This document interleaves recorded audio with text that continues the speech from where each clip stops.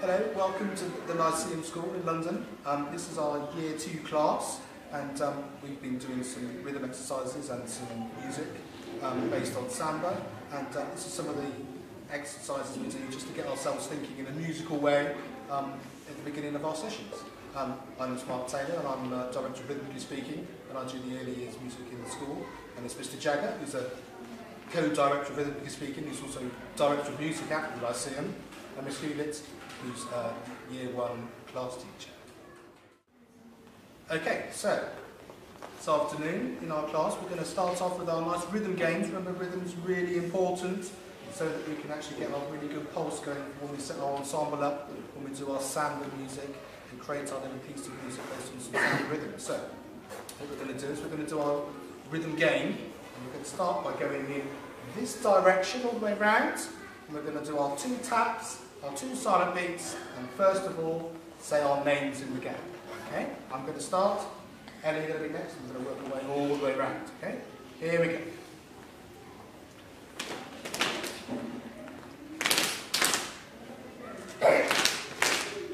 Excellent. Mr. Taylor.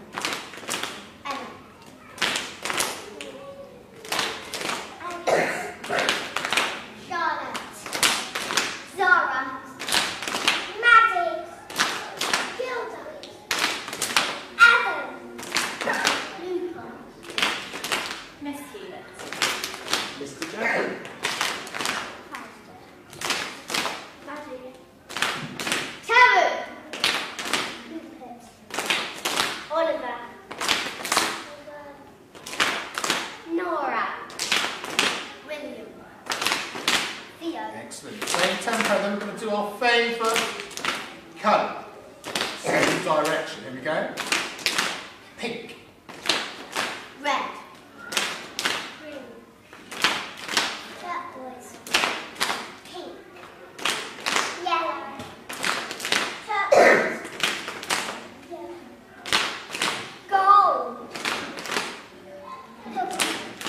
Pink. Gold. Silver. Turquoise. Gold.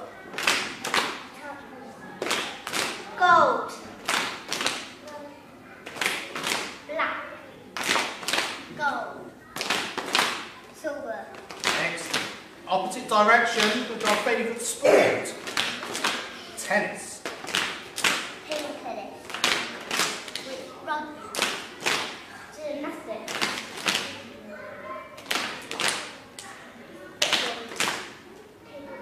Well done, guys. Crazy golf. Ice skating. Mini golf. Golf. Swimming. Golf. Ice. Swimming. Beach volleyball. Swimming.